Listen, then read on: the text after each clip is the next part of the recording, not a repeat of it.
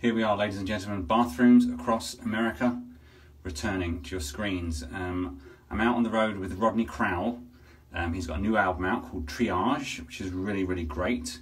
Um, I suggest that you get it. And we have a great uh, band um, that we're touring with. We've got Catherine Marx on piano, Glenn Caruba on percussion, and Zachariah Hickman on the bass.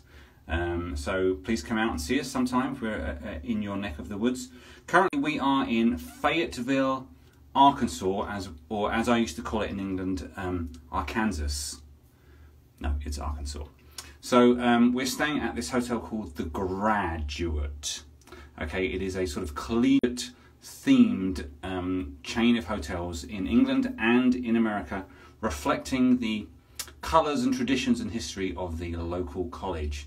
So we are in uh, Fayetteville, and I'm really in. I'm in two minds with this this whole hotel experience because on one hand it's got a, you know a very large lobby, which was great, which was handy because we had to wait in there for about three hours before we got our rooms this morning. Um, it's got a nice fitness room. Those are all good things. Those are positive things. This bathroom has got some interesting choices. Buck Rogers, I think that's Buck Rogers. Am I wrong? I think it is. Okay, that's kind of cool. I like that. It's got a shower curtain and not half a shower door. We know that uh, makes me happy. Uh, the obligatory um, hipster uh, bathroom rum conditioner, cilantro shampoo, and all that uh, nonsense. Okay, interesting. However, we go into this room, and this is where I'm really sort of grappling the horns of a, of a dilemma in my um, review because this bathroom is great, but this uh, this bedroom rather is, I mean, what do you call that? It's like, what's going on here? I mean, these all these colours, um, it's like, it's kind of too much. And it, if anything, it reminds me of a sort of a Wes Anderson movie set, except if, um, you know, if someone vomited up a Wes Anderson movie set, this is what it might look like. Um, it's kind of cool, but should it all be together? Should this uh, carpet be next to these curtains? I don't think so. The curtains do not match the carpet. We know that that is not a good thing. Um, I'm sorry for that poor joke. Uh, this thing is what tips the balance for me. It's kind of scary.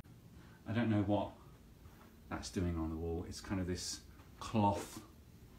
What is that? Is it a boar? Uh, it's kind of odd. Um, and then that piece of art, it's just, it's a barcode. Uh, and so, anyway, one last look at it. It's, I mean, it's cool. They spent a lot of money on it, but it doesn't make me want to stay here for more than like 20 minutes. And also, I'm just going to throw this in here. It's really dirty in here. Look at that. It says, we have taken extra steps to clean. I don't think they have. They need to maybe address that. So, uh, you know, in conclusion here of this review. I hope I haven't gone on too long here. Um, it's it's good. They've spent some money on it, but I'm afraid I'm going to have to give it a 6.9 because it, I just don't want to stay here. It's it, I just don't want to stay here. So, thankfully, we're leaving tonight. We're going back to Nashville. So, um, for anyone in Nashville, I'll see you back there. Until then, bathrooms across America.